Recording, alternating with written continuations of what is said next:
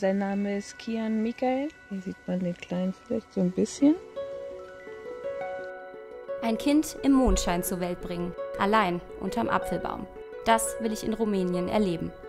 Angenommen, das Kind wäre wär gestorben oder es wär eine, hätte eine Behinderung, wie, wie hätte man sich das verzeihen können? Ich möchte dazu nur sagen, also die meisten Hausgeburten sind ohne Komplikationen. Die Komplikationen kommen äh, oft im Krankenhaus.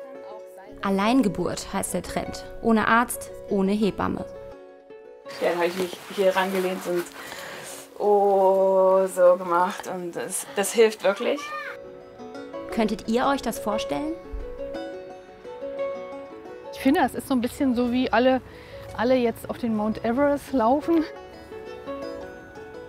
Das ist Jenny. In drei Wochen wird sie in Rumänien ihr zweites Kind bekommen. Aber nicht im Krankenhaus, sondern ohne Hebamme. Ganz allein. Wenn da was schief geht, gibt es keine medizinische Hilfe. Und ich werde Jenny begleiten. Und ich freue mich total darauf, frage mich aber gleichzeitig auch, wieso macht man das? Wieso will man ganz alleine sein Kind kriegen? Das ist ja eigentlich unverantwortlich. Ähm, trotzdem scheint es gerade zu einem richtig großen Trend zu werden. Hashtag Alleingeburt. Jenny stellt sich das so vor. Ihren Sohn will sie im Mondschein unter einem Apfelbaum im Wald bekommen. Klingt strange, aber wenn ich mich hier bei Instagram so umschaue, dann gibt es von diesen Frauen, die ihre Kinder riskant, ohne medizinische Versorgung zur Welt bringen, ziemlich viele. Sie hat ihr Baby in Thailand im Meer bekommen. Die beiden hier im Wald und Jenny eben unterm Apfelbaum. Zwei Tage vor meinem Abflug. Hey Nora, ich schicke dir ein Video ähm, und wollte sagen, dass unser Sohn geboren ist, leider früher. Das heißt, äh, ja, ihr konntet leider nicht dabei sein. Sein Name ist Kian Michael. Hier sieht man den Kleinen vielleicht so ein bisschen. Wenn ihr wollt, könnt ihr trotzdem vorbeikommen und wir sprechen über das Thema Alleingeburt und angstfrei gebären. Natürlich komme ich. Dass eine 29-Jährige, eine Frau in meinem Alter, allein im Wald ein Kind bekommen hat, dass sie das medizinische Risiko eingegangen ist, kann ich mir immer noch nicht richtig vorstellen. Was für eine Verantwortung. Ich komme ja nicht mal mit meinem Koffer klar. Tada! Gut zwei Flugstunden später sind wir in Rumänien. Wir müssen nach Balsa. Von Bukarest aus sind das noch sechs Stunden Autofahrt.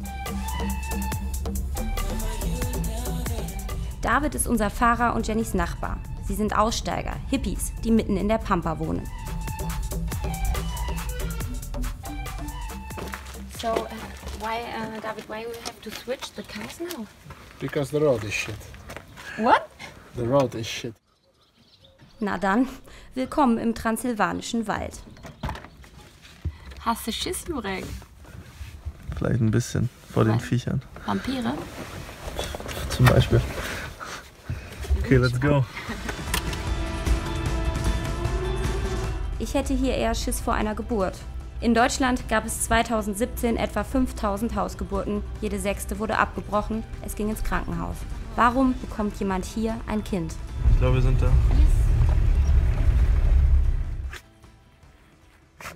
Uh, I cannot now. What is this? shit. This the shit house. This is the shit house. Okay. It's very practical. Thing to know. This is where we take our shit.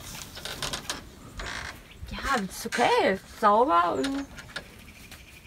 Was ist das für ein Foto? What's kind of picture of this? The guys? From the two people. Yes. It's the, the former owners.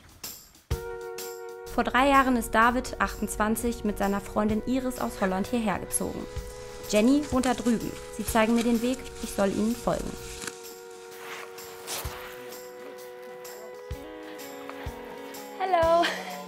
Das ist Matthias, Jennys Freund.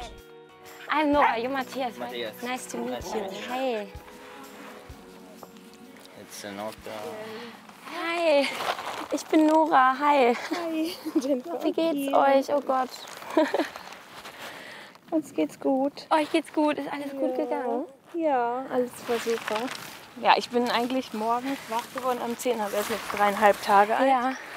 Und ähm, ja, ich bin so gegen vier wach geworden, hatte ein paar Wehen. Drei Tage später scheint Jenny topfit zu sein.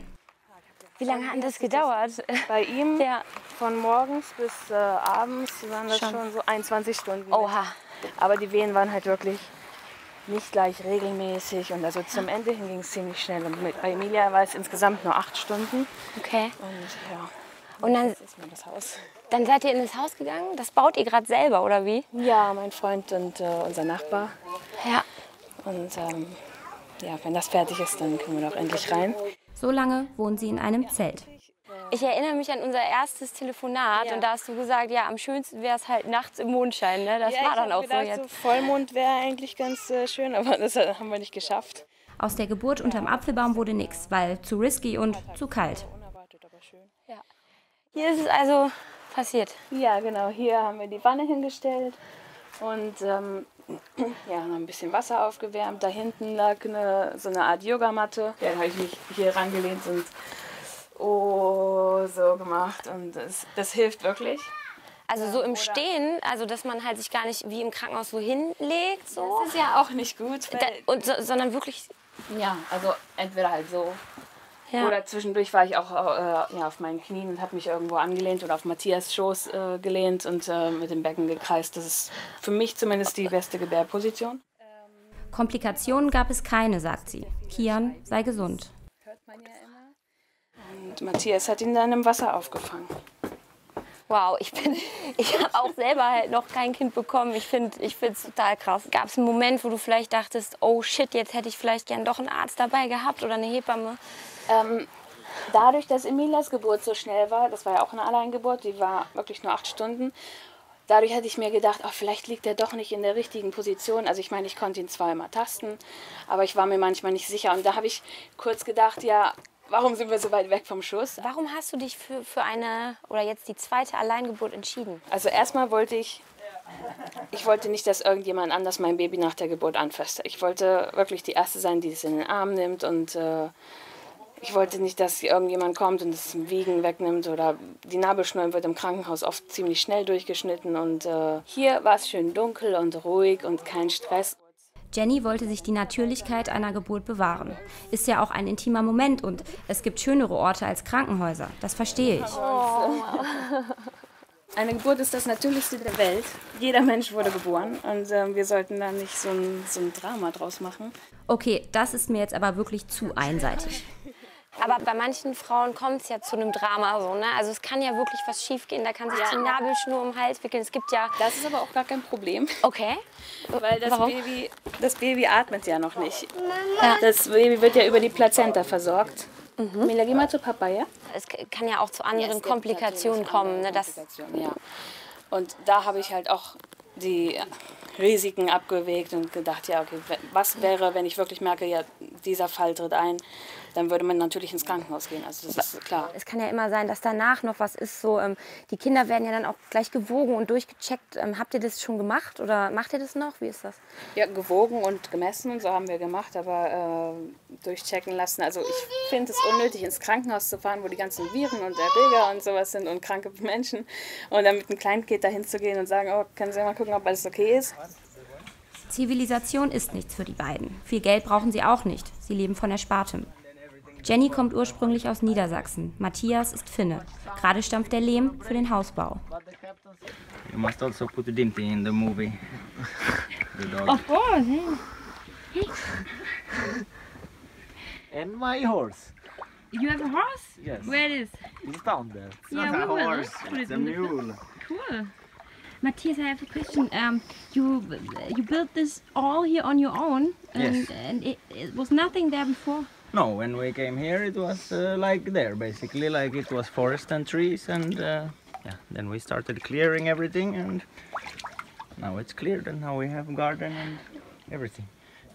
Das nächste Krankenhaus ist 50 Fahrminuten weit weg. Die junge Familie hat sich gegen einen Ort mit hoher medizinischer Sicherheit entschieden. Are you working? Angenommen, das Kind wäre wär gestorben oder es wäre eine, hätte eine Behinderung. Wie, wie hätte man sich das verzeihen können? Ja, das, das ist ein Thema, ähm, das ist auch wichtig, aber ich möchte dazu nur sagen, also die meisten Hausgeburten sind ohne Komplikationen. Das stimmt, aber was, wenn doch was passiert? Soll ich dir helfen? Nö? Bevor ich nach Rumänien losgezogen bin, habe ich mich in Bremen mit der Vorsitzenden des Hebammenverbandes Heike Schüffling getroffen. Auch sie beobachtet den Trend Alleingeburt und ist überhaupt nicht begeistert. Ich finde, das ist so ein bisschen so wie alle, alle jetzt auf den Mount Everest laufen, egal ob sie fit sind oder nicht oder ausreichend trainiert. Ja. Das ist vielleicht so das letzte Abenteuer, was man jetzt noch so selber gestalten kann. Und ich glaube, ein bisschen Selbstüberschätzung kann da schon auch dabei sein. Neben Hebammen warnen auch Ärzte. Der Chef für Geburtsmedizin an der Berliner Charité sagt, Eltern stellen ihr Recht auf Selbstbestimmung des Geburtsorts über das Interesse des ungeborenen Kindes. Was für Risiken gibt es da? Ähm, also grundsätzlich ist erstmal eine Geburt ja ein natürlicher Prozess und in der Regel ist er nicht gefährlich. Aber es gibt natürlich immer wieder Situationen, wo man das Gefühl hat oder wo man einfach eingreifen muss ja, und die dann eben auch nicht mehr natürlich verlaufen.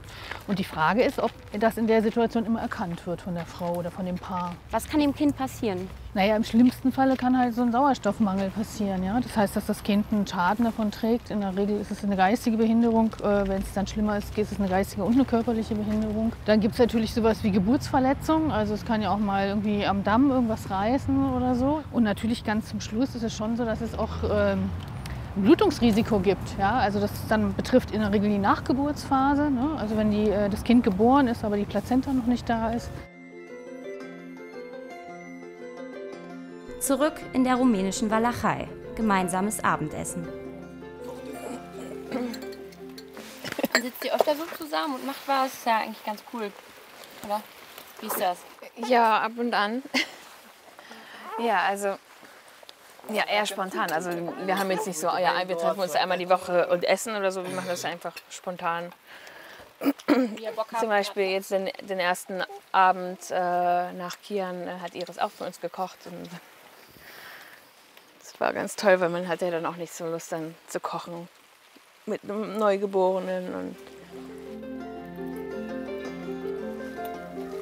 Der nächste Morgen. Ich kann schon verstehen, warum man sein Kind hier und nicht im Krankenhaus bekommen will. Ja, ist ganz geil. Eine Alleingeburt ist nicht überall erlaubt. In Österreich zum Beispiel muss man eine Hebamme hinzuziehen. In Deutschland geht es auch ohne.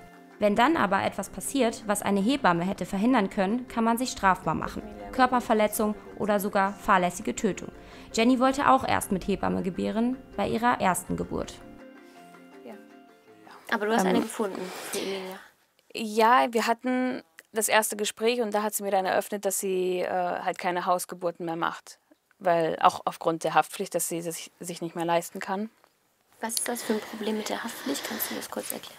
Ähm, ja, es ist zu teuer für die Hebammen in Deutschland und äh, die müssen so viel zahlen, dass sich halt der Job gar nicht mehr lohnt.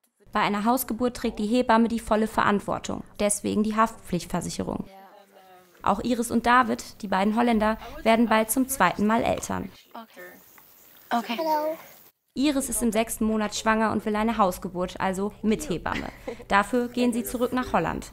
Hausgeburten sind da normaler. Jedes dritte Kind kommt dort so auf die Welt. Yeah, I would prefer to stay here at home in nature and everything, but I would want to have a midwife. So I would want to find someone who can assist, not really assist Okay. us. I would like to do it myself, Okay. But But with with a doctor, someone someone he's Exactly. He would come here, yeah. who could give me the, the, the confidence that it's going all right and I'm doing fine and nothing is going on and everything, because I, I think I will make myself crazy. Matthias und Jenny sind da wesentlich risikobereiter. Im Notfall haben sie unten im Dorf einen Hausarzt, sagen sie. Der Nabel ist abgefallen. Oh ja. Das ging schnell. Ihr habt einen Hausarzt, gehst du mit ihm dann auch mal hin und der Kleinen? Ja, sollte was sein, wo wir uns dann Sorgen machen, dann definitiv. Wir haben jetzt die ersten Tage habe ich auch gedacht, ah, macht er überhaupt Pipi? Weil bei Jungs kann es öfter mal vorkommen, dass äh, die Vorhaut irgendwie noch geschlossen ist, komplett. Aber ähm, ja, wir haben schon gesehen, äh, da kam ein großer Strahl raus. Also da haben wir uns ganz kurz Sorgen gemacht, aber ist auch alles gut. Matthias und Jenny kamen als freiwillige Helfer nach Rumänien und sind geblieben. Genau wie Simon aus Italien und David und Iris. Sie alle sind hier zu einer Familie geworden und leben ihr Leben genau so, wie sie es wollen. Unabhängig und selbstbestimmt. Und eben ganz anders. Das Sand im Gesicht. Ja, ich wollte, dass ihr seht, dass äh, man das auch so machen kann, dass man eine Alleingeburt auch ähm, in der freien Natur haben kann und dass man keine Angst äh, vor Komplikationen haben muss. Und das ist halt, ja, dass Frauen mehr Vertrauen in ihren eigenen Körper haben. Für Jenny war das Risiko einer Alleingeburt akzeptabel. Sie hat sich für die romantische Ideologie entschieden und die Risiken bewusst in Kauf genommen. Würden Matthias und Jenny wohl auch so denken, wenn Kian nicht gesund zur Welt gekommen wäre? Ich mag es mir kaum vorstellen und bin saufroh, dass es ihnen gut geht. Die Vorstellung finde ich ja auch romantisch, aber das Risiko würde ich niemals eingehen. Vor allem nicht, wenn Mediziner warnen. Ja, äh, alleine in Rumänien äh, im Wald ein Kind bekommen. Bei Jenny ist das gut gegangen, aber wie sieht es bei euch aus? Würdet ihr euch das zutrauen, so eine Alleingeburt? Würdet ihr das Risiko eingehen? Schreibt uns gerne in die Kommentare und abonniert uns auch gerne, da würden wir uns total freuen.